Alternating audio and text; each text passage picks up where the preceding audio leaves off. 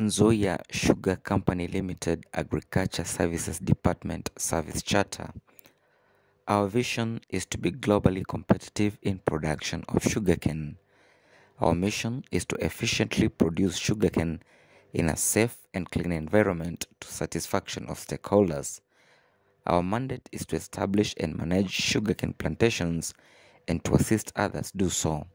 Our range of services. Our first service is cane harvesting. The client obligation is to avail mature cane and ensure safety before harvesting. The cost is at a stipulated fee and the time is between 1 to 2 days. Secondly, is cane transport.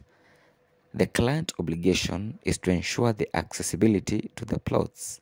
The cost varies with distance and the time is within 48 hours. Third is handling customer complaints stroke inquiries.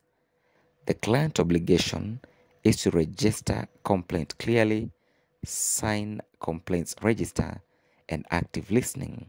The cost is absolutely free and the time is three days.